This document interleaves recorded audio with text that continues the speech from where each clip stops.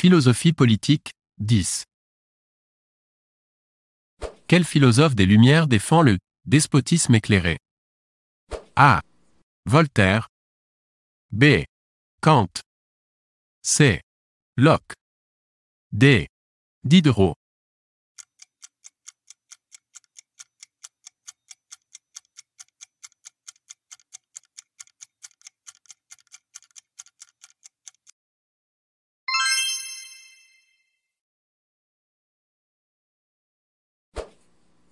Complétez cette phrase d'Emmanuel Kant. La vraie politique ne peut faire un pas sans avoir auparavant rendu hommage à A. La morale. Virgule. B. La raison. Virgule. C. La religion.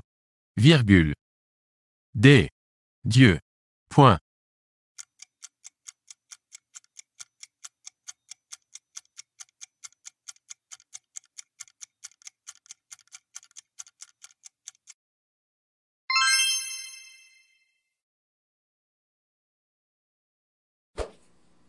Quel philosophe n'a pas présenté de théorie du contrat social pour expliquer l'origine de la société?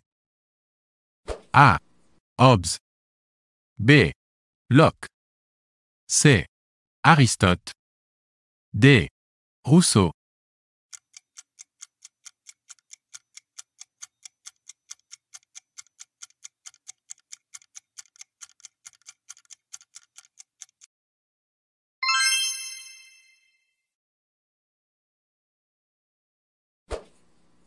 Complétez cette phrase de Rousseau, et liberté. A. L'obéissance à la loi qu'on s'est prescrite. B. L'obéissance à la loi qui est prescrite. C. La désobéissance à la loi.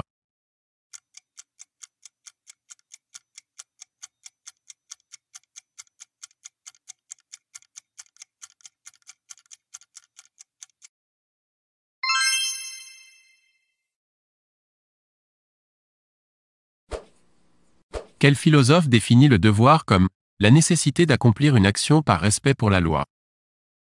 A. Rousseau. B. Spinoza. C. Kant. D. Aristote.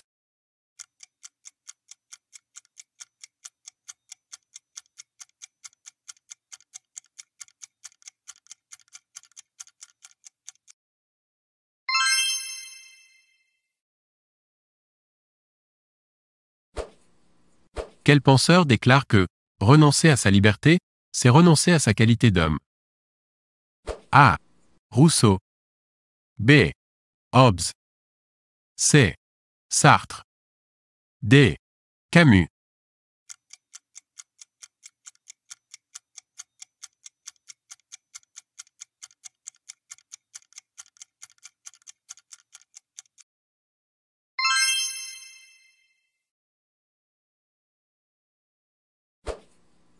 Pour Hobbes, les hommes doivent abandonner tous leurs droits au souverain.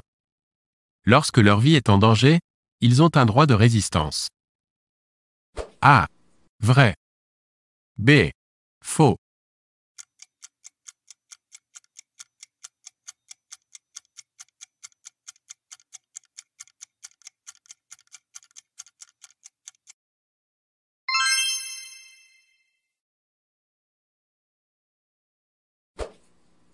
Quel philosophe a défendu, au temps de l'absolutisme, l'idée d'une séparation des pouvoirs exécutifs, judiciaires et religieux? A. Montesquieu. B. Hobbes. C. Descartes. D. Machiavel.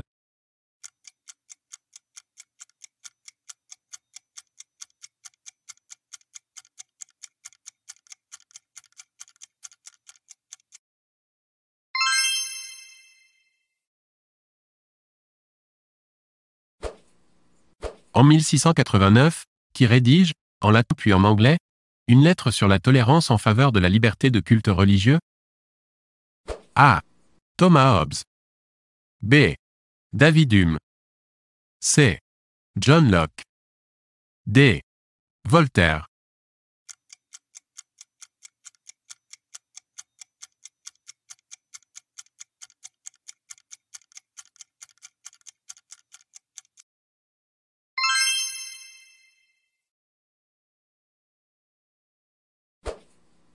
Pour Rousseau, du contrat social, la volonté générale est la somme des volontés particulières.